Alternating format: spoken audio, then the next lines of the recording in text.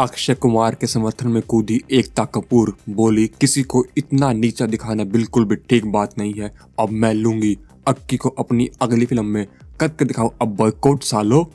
दोस्तों, आप सब जानते हैं कि अक्षय कुमार की सेल्फी एक साउथ की रीमेक है, जिसका नाम था ड्राइविंग लाइसेंस। दोस्तों, वो फ़िल्म बनी थी चार करोड़ में और उसने कमाई थी तेईस करोड़ और सेल्फी बनी है, ओहो, नब्बे करोड़ से ज़्यादा में और उसने कमाई है भाई, ग्यारह करोड़।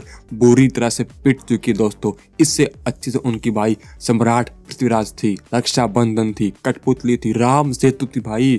उन फ़िल्मों ने कम से कम चालीस से लेकर साठ के आसपास कमाई की थी और यह पहले दिन तीन करोड़, फिर ढाई करोड़, फिर तीन करोड़, ऐसे कर करके भाई गुजार कर करके मुश्किल से ग्यारह करोड़ के पास पहुँची है। और उसके बाद अब ये अक्षय कुमार की लगातार छठी फ्लॉप फ़िल्म हो चुकी है। एक के बाद एक एक के बाद एक एक के बाद एक। और इसी बीच एक कपूर ने अपने इंस्टाग्राम स्टोरी पे उनकी एक पोस्ट शेयर की है और उन्होंने इनका बिल्कुल खुले आम खुले दिल से समर्थन किया है दोस्तों।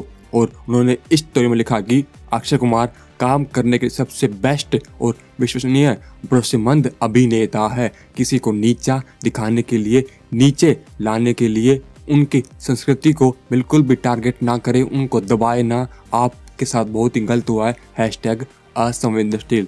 दोस्तों, अगर आपने सेल्फी देख ली तो आपको दोस्तों कैसी लगी?